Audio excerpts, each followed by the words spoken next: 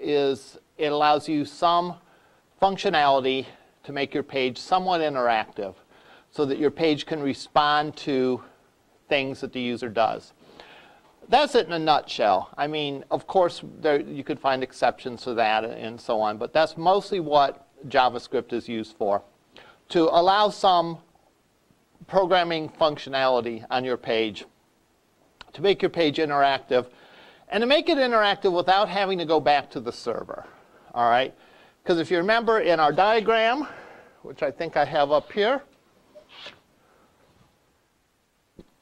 the amount of time for a, client to request something, for it to make it through to the internet, and to come back is long compared to the amount of time that it would take just to run code that was already downloaded to the browser. So when you request a web page that uses JavaScript, you get in addition to the HTML and CSS, you get some JavaScript. That JavaScript then is executed virtually immediately on the client. Doesn't have to go through the process of downloading anything from the server because that's already been downloaded from the server. So when you do a mouse over effect, um, it can happen immediately, and it can happen without having to go back to the web server. The example that we went over last time um, was to do uh, an effect really similar to what you see on this page, or we'll, I'll bring it up in a minute here, the page that I mean.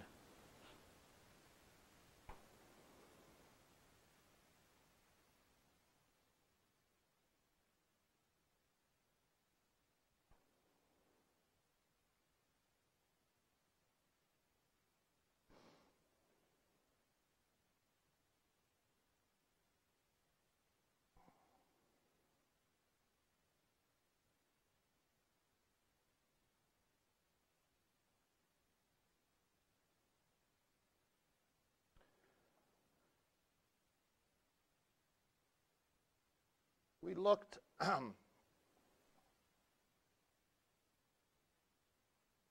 at ESPN's website, and we notice how they have mouse over menus. So that if you put your mouse over one of these things, a submenu appears. Notice that happens virtually instantaneously. Even on a quick internet connection, um, if it had to go back to the server to get that, you might load, notice a little bit of pause, and, and your experience as a user wouldn't nearly be as good. It wouldn't be as seamless.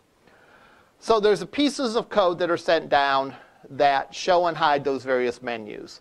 The HTML for those menus is there all along. It's just a matter of being shown and hidden. All right, and the JavaScript is what does the showing and the hiding of it. Um, so the menu for NFL, NBA, Major League Baseball, NCAA football, all those menus have been downloaded with the HTML, with the initial HTML. You simply don't see them. And as you put your mouse over these, there's snippets of JavaScript that say, find this menu and display it. And as you take your mouse out of it, find that menu and hide it again. That's really not so much different than what we did in this example which was to show and hide spoilers.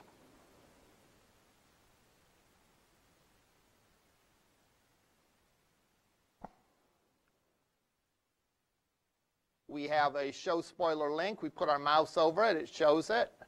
We take our mouse off. We hide it. We also have a different way to show and hide the stuff on the page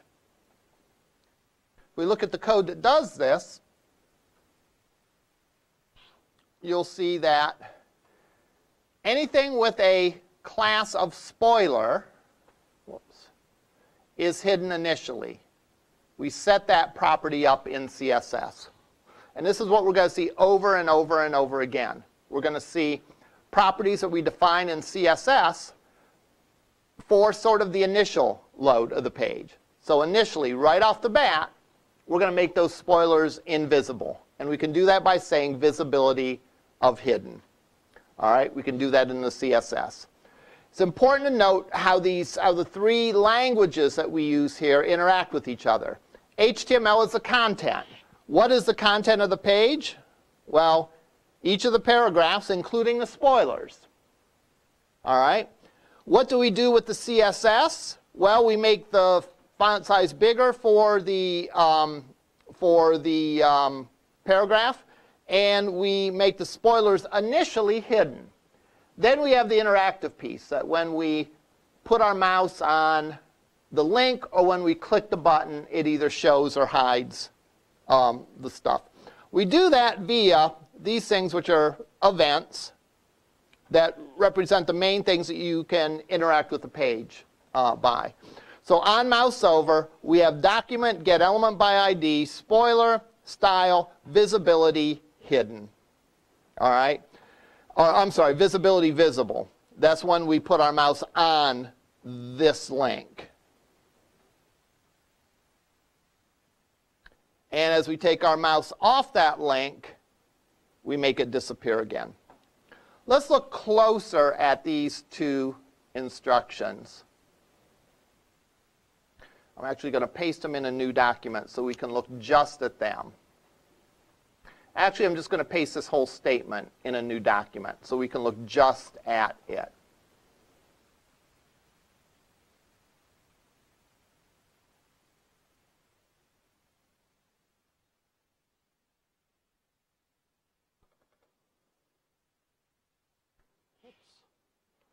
So we have what we typically have. We have a link which has a starting link and an ending link tag. The link in this case simply goes to the page uh, the top of the page. That's what pound sign means. On mouse over and on mouse out are the two events that are important here. Again, those events are, have been defined for us. All right, we can invent new ways that the user can interact with the page. Users interact with the page in predictable ways. They put their mouse on something, they click on something, they type something in. They move their mouse. All those things are examples of actions that the user can take. The idea of interactivity is we write some code for that. Now, a few things I'm going to point out. I pointed them out last time, but I'm going to review them this time. Is notice that our entire JavaScript statement is included in included in the double quotes. All right. So this on mouse over event is like any other HTML attribute, right? An HTML attribute, as we've defined earlier in the semester, is any additional information we have about the HTML tag. For example, href equals quote pound sign quote. That's an attribute. Well, on mouse over is also an attribute. And it's on mouse over, quote, some stuff, and then a quote. Now, in the case of the events, that stuff is going to be JavaScript. So, document get element by ID spoiler 1 says find the thing on the page that has an ID of spoiler 1. We're very frequently going to be using IDs with JavaScript because typically the idea is that we want to point to something on the page and we want to change it. All right? So, how do you point to something specific on a page? You use an ID. Um, a lot of students seem sometimes to be confused about IDs. IDs is, is just a way to identify a certain piece of the page, certain tag on the page. So when we create our HTML, we give IDs to some of the things on the page. All right? And we do that for a variety of reasons. When we did HTML forms, we use that ID to link the form control with the label. All right? We've used IDs for style, all right, to put, set a style for a particular ID on the page, all right? And in JavaScript, we're going to use them a lot because we want to point to something specific on the page and make some sort of change to it. What changes do we want to make? We either want to change the CSS that's applied to it, or we want to change the HTML associated with it. Anything that you can type in and you can initially set on your page, whether it be an HTML attribute, or a style attribute, you can change via CSS. All you have to do is point to it and change it. So in this case, we point to the thing that has an ID of spoiler 1. Now notice a couple things. The word spoiler 1 is the name of a specific ID. It's not the name of a command.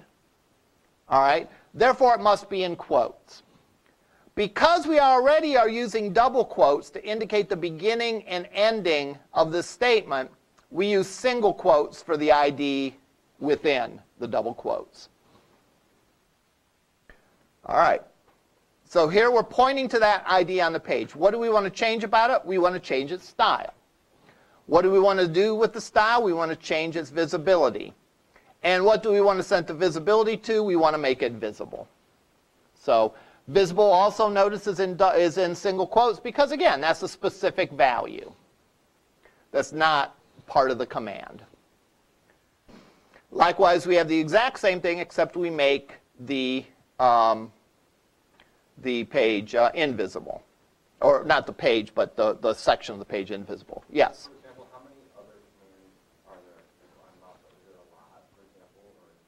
Do you mean things like on mouse over? Or? Yeah, well, um, a lot. There's there's probably a uh, dozen, 15, 20. So, well, again, keep in mind, I, am not 100% sure if you're asking like, what are the different events, or what can we change on the page? Okay. Uh, we'll look at the events in a second. So if I look up JavaScript events, you'll notice here's a list of them. And they show how these all work. Here's six common events that you can do. But in addition to that, there's probably uh, another half dozen that are less common. Um,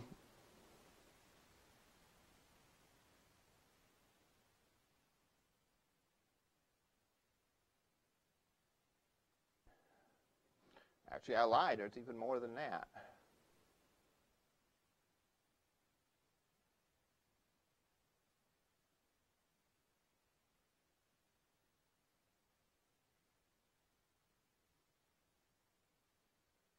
So there's a whole bunch of them. But the main ones on mouse over, on mouse out, on key pressed or on key up, on key down, you can actually code the difference between when you initially press the key and when you release the key.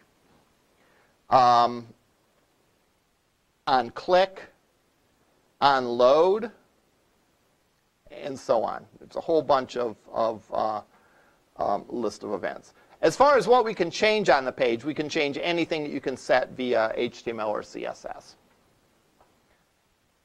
Let's do another example real quick. Let's say I wanted to offer two versions of a page.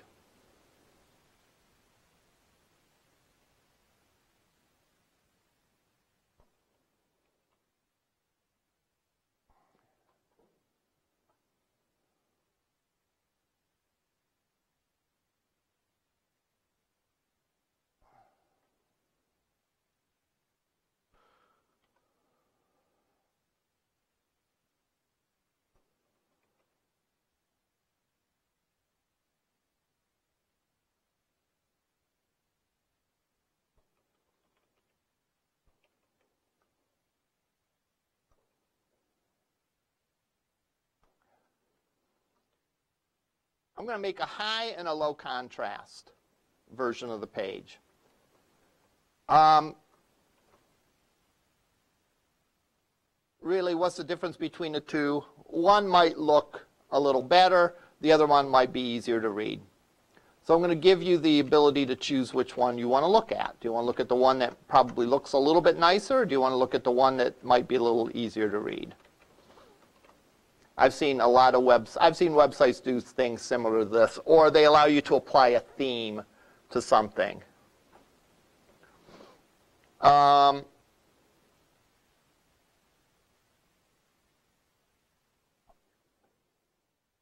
me pop some Greek text in here.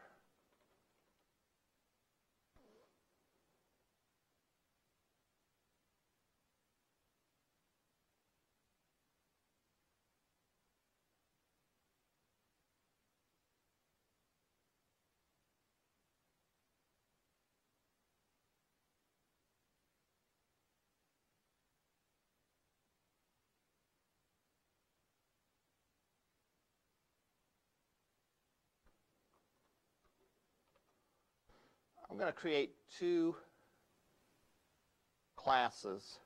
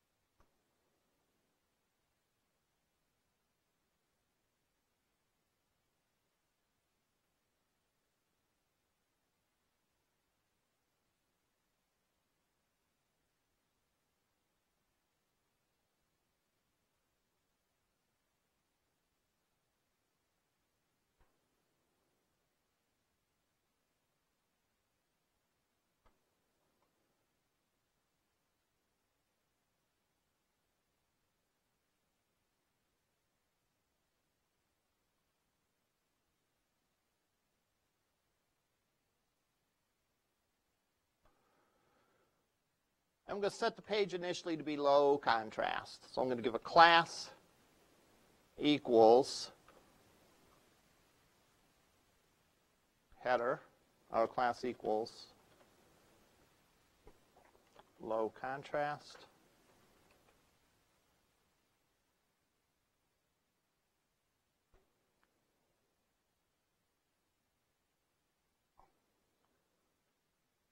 Class equals high contrast, or class equals low contrast for that as well. So I'm going to save this on the desktop.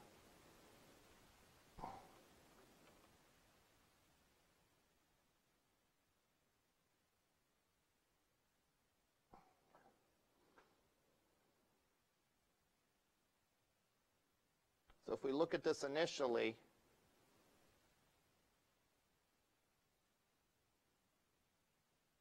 we load the page, and it starts off with that sort of low contrast. All right? What I'm going to do is I'm going to make it so that, in fact, let's, let's do this. Let's change it up a little bit. Color, background.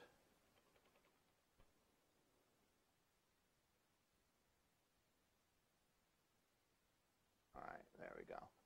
Sort of a low contrast look. I'm going to make it so that we can change the um, um, page to have a, uh, a, a, high contrast look. So what I'm going to do is I'm going to put a button in here. Actually, I'll put a link.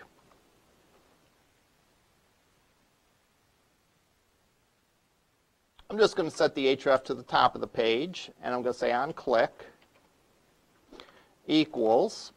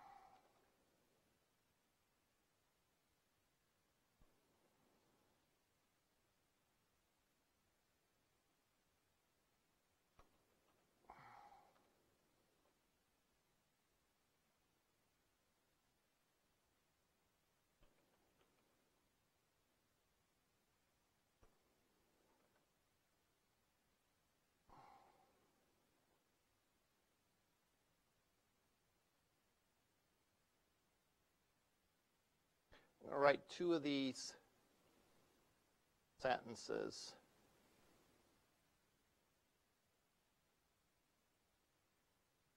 and set it to high contrast.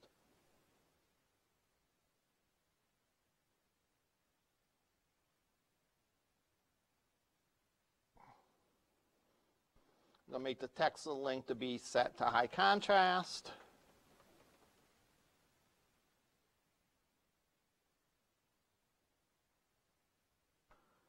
And then I'll close that link. So I go save this, and I click set to high contrast, and it sets it to high contrast. So this way you could give your user some sort of way of controlling their preferences on how the page looks. Um, how do I change it back? Well, I just put a link that does the opposite of that and sets the class name to low contrast.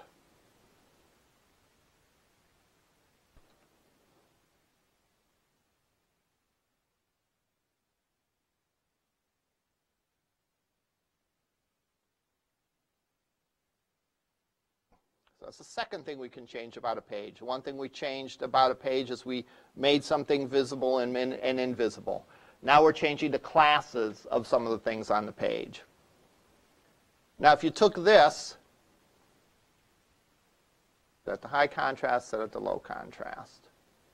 So you have a choice of the way that it looks.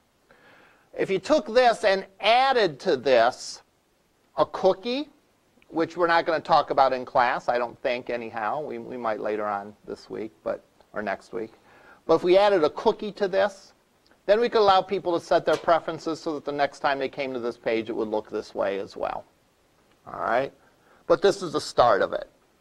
Notice how all this works when you separate the content from the way that it looks by having the HTML have just the content, uh, content and having the CSS controlling everything about the way that it looks, this allows you to do this. All right. Um, you know, we could we could again we could change anything uh, about the page. You know, we could make a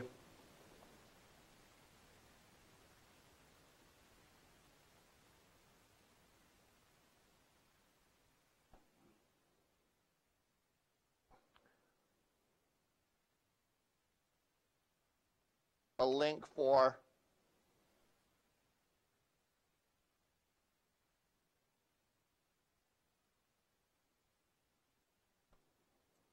making the font size bigger.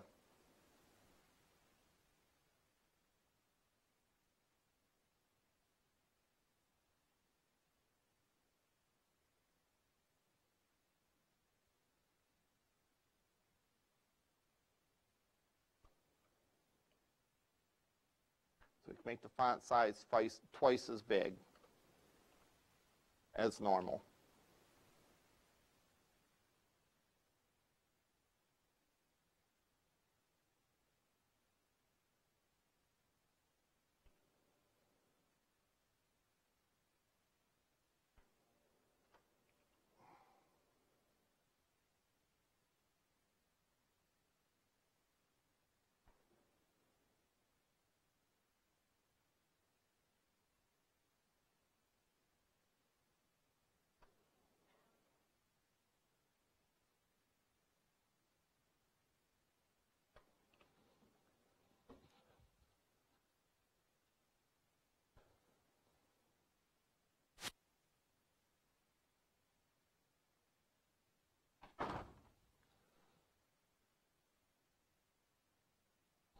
Normal font, and then we could even do a smaller font. You, let's say you got really good eyes, and you want to make it so your page doesn't scroll. To make bigger and smaller fonts. So set the bigger font, set the normal, set the small. It doesn't work. Ooh, what did I mess up? All right. I think I see it, but let's go through good debugging uh, procedures. More tools, developers tools, console. Fortunately, it doesn't tell me anything here, interestingly enough. Really, what the problem is, is this should be style font size. Now you don't always put style in front of it, but if it's an aspect of the style, you put style. The other thing to note, notice that in CSS, font style is font dash, I'm sorry, font size is font dash size. We don't use dashes when we use JavaScript. So instead of font dash size, we make it font size with the S being capitalized. So if you have a property that has a dash in it, you eliminate the dash and just make the next letter capital.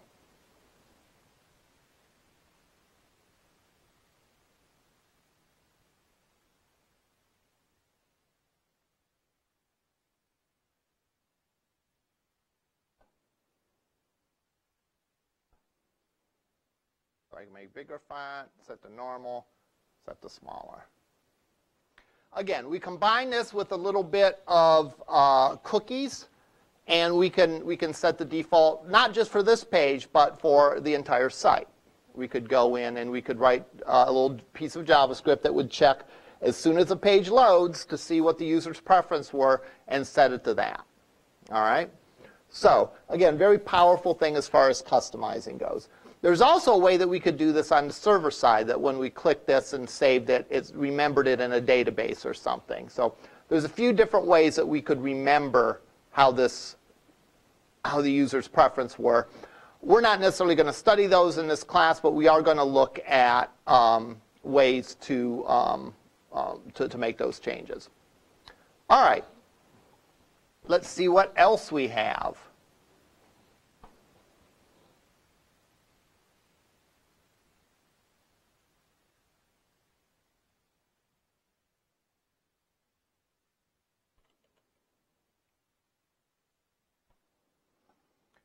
Really what I want to demonstrate now is, again, the linking of an event with a piece of JavaScript, the way the JavaScript refers to things on the page, and finally,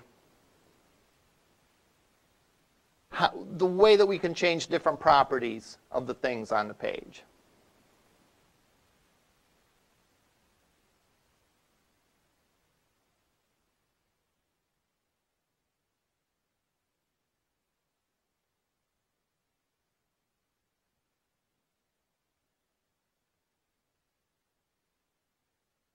Here's kind of a, a fun one. This is an example of doing a menu, similar to what we have on ESPN. Of course, a much simplified menu, but similar enough where you can, I think, see the similarities. Remember on ESPN's page,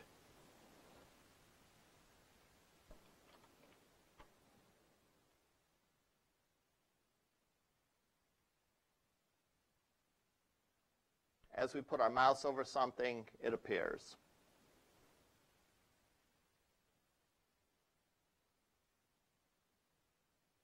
All right.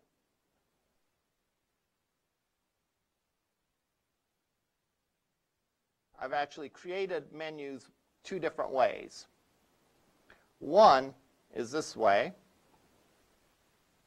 One is this way. Now, these menus don't have links to anywhere, but it would be pretty easy to make them links. All right? So let's look at these. These are very simple JavaScript um, code, and they're, they're very similar to the code that we've already seen. It's just stuff is arranged in a different way. So in this case, we have a little, we have four main topics, and there's a plus sign next to them. And typically when you see a plus sign next to something, that means that it can be clicked on and expanded. So if we click on this, it expands it to the three different areas of CISS. Now again, right now they're not links, but we could make them links easily. All right, and in that way there'd be a navigation. So let's look at the code for this.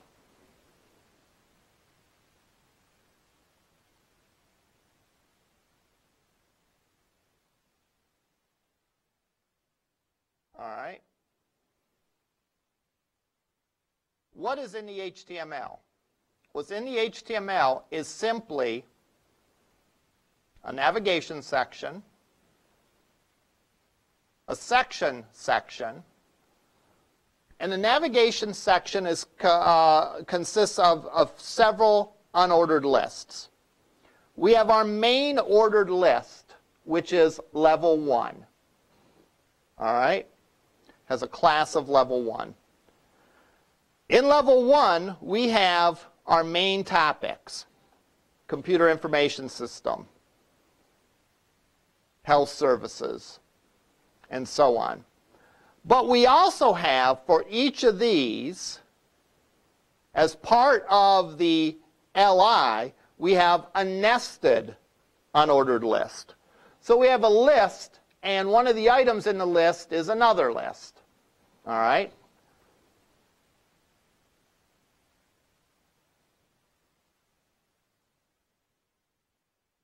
So, here's our main list. Here's, our, here's one of our topics. That topic contains, and let's forget about the JavaScript right now, it contains a span that has a plus sign, indicating that it can be expanded, computer information system, and then we have another list that has an ID of submenu 1 and a class of level 2. Now let's, and each of these menu items is like that. Whereas we have an LI,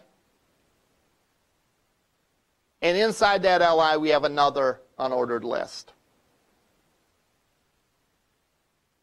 That ordered list has an ID and it has a class. Notice that the class, level 2, by default, are not displayed. So when the page initially loads, all the level 2 menus aren't there. And notice I do this in a little bit different way. Remember in the other example, I said visibility hidden versus display none. The difference between these two is that visibility hidden makes it invisible, but it still sort of takes up the space. Notice in the spoiler example, there's a gap here. What's that gap? Well, the gap is where that paragraph goes. All right? So even though it's not visible, it still takes up the space on the page. With a display of none, it doesn't take up the space.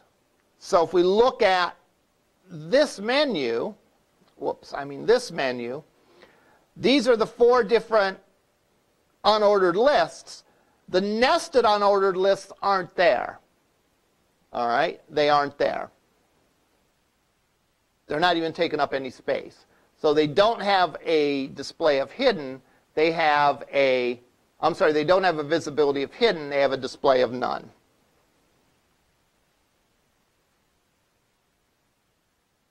Now, I wrote something called a function for this. All right? This is sort of the next step in JavaScript. If we looked at our very first example in JavaScript, we have our JavaScript commands just as part of the on mouse over. Really because we only have one simple command. If our mouse goes over this, we want to show the spoiler. All right, that's pretty straightforward.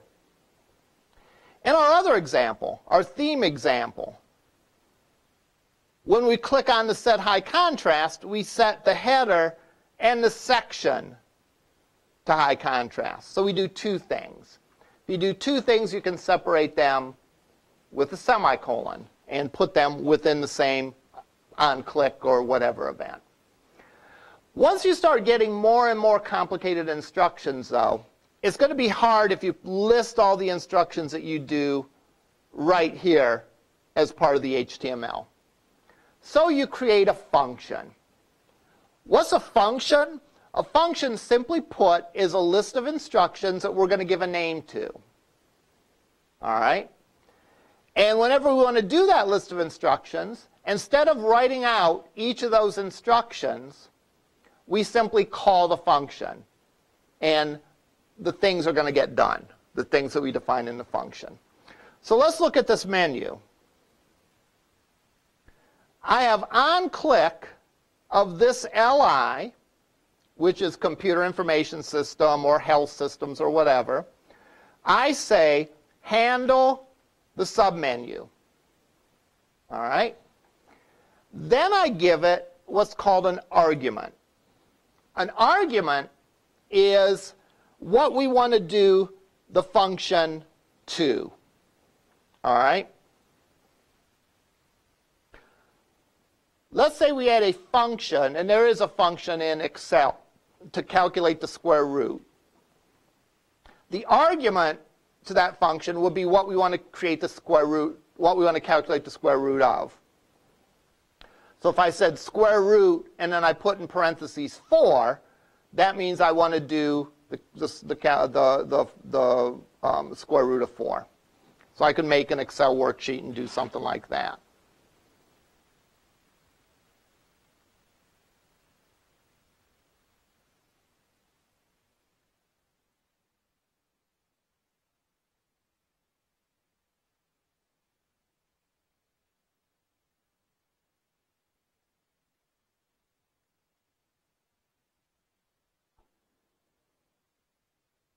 So if I put in equals sqrt 4, I'm calling the square root function. What is the square root function in Excel? Well, built into Excel, there's a whole list of instructions that is used to calculate the square root. What is 4? 4 is the argument. Well, the argument is what we want the square root of. So if I say equal 4, it gives me the right answer there. If I were to say equal 144, it'll give me the answer there. So the instructions work not just for one case, but the instructions work for any case. So any number you give it, it'll give you the square root of. So I can put any old number in here that I want. I just can just hit keys, and it'll tell me what the square root of it is. So functions take arguments, and those arguments are used by the function to do their job and to give you the answer. If I walked up to you and said, what's the square root? You'd look at me and say, what's the square root of what? All right? You have to tell me what number you want the square root of before you can calculate the square root. All right? In functions that you write in JavaScript, it's the same way. I'm saying I want to do something with the submenu. All right? I have to tell the function which submenu I want to do something with. So in the case of if I click on computer information systems, I want to do something to submenu 1, right? I want to do, I want to show or hide this.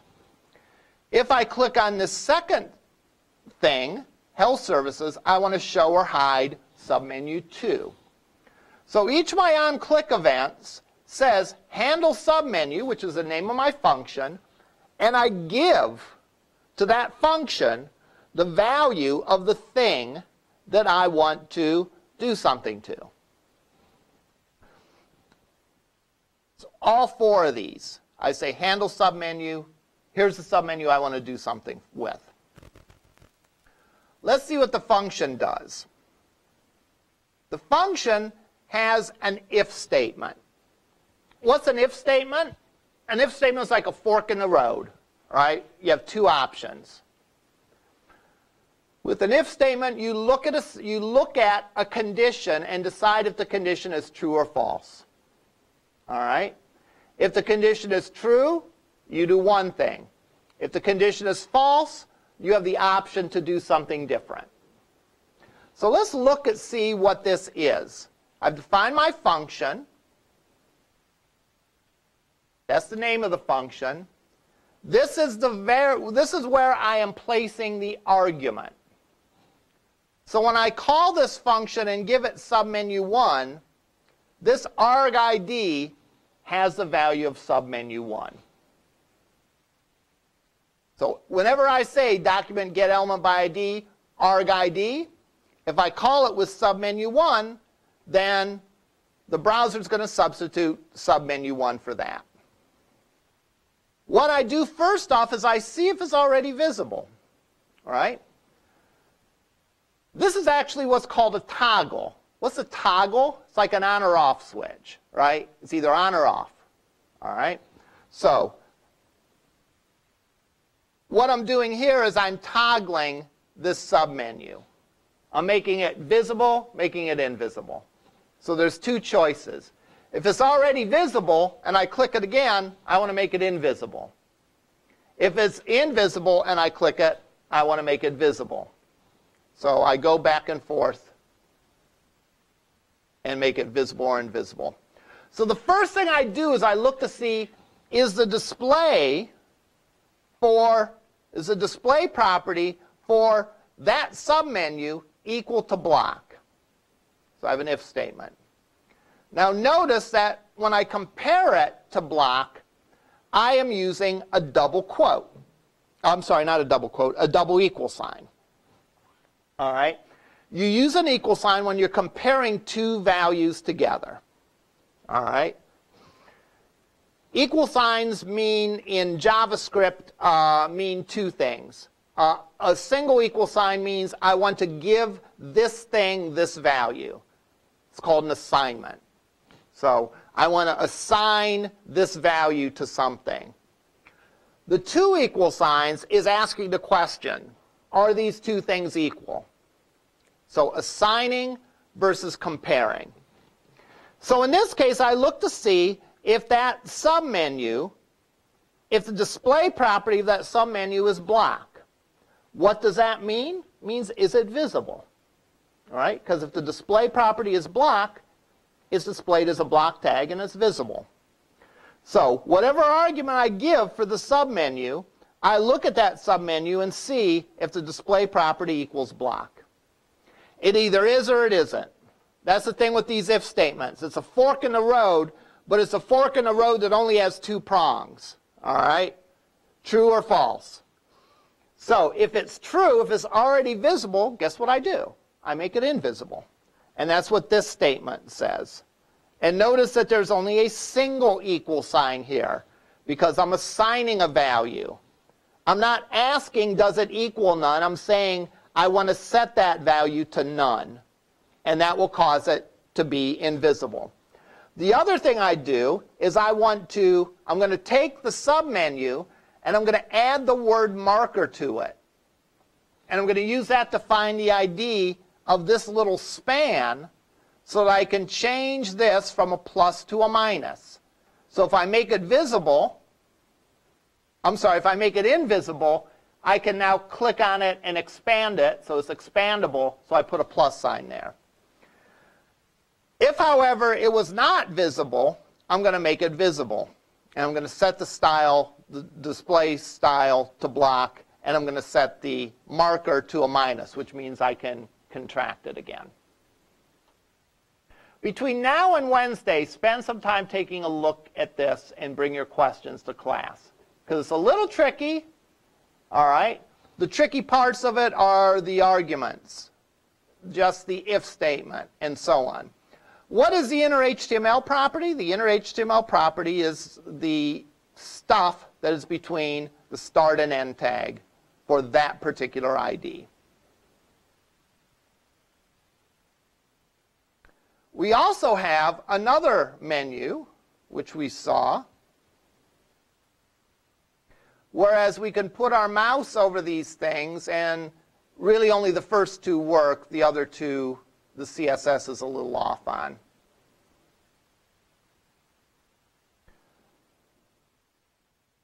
That would be a good exercise to go and see if you could figure out what you need to do to correct that.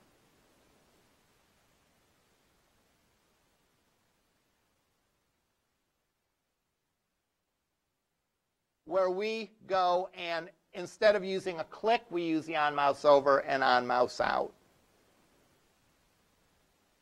And I have two different functions here, one that shows and one that hides.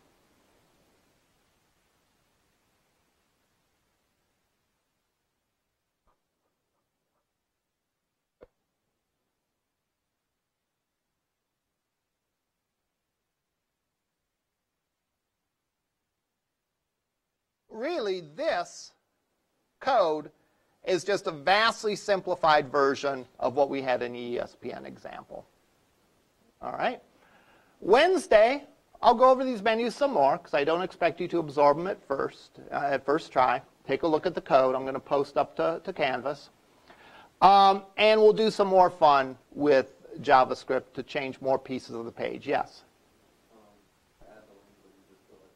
Yeah, exactly. Yeah, you would say a href equals something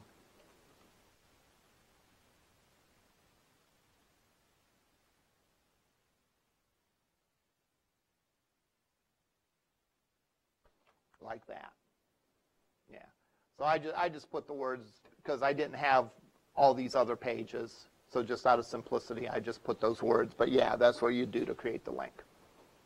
All right, that's what I all had for you today. Um, we'll see you up in lab.